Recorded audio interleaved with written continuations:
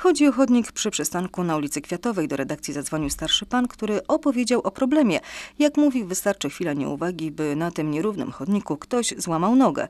Ulica Kwiatowa to droga, której zarządcą jest powiat. Na podstawie zawartego porozumienia o jego bieżące utrzymanie dba miasto. W tym roku zarówno na sesjach miasta, jak i powiatu podnoszona była kwestia renowacji ulicy Kwiatowej. Na razie dotyczyła sporządzania dokumentacji. Miasto i powiat na to zadanie wyłożyło po 40 tysięcy złotych. Ulica całościowo ma zostać przebudowana. Na razie nie wiadomo, kiedy ruszy ta inwestycja.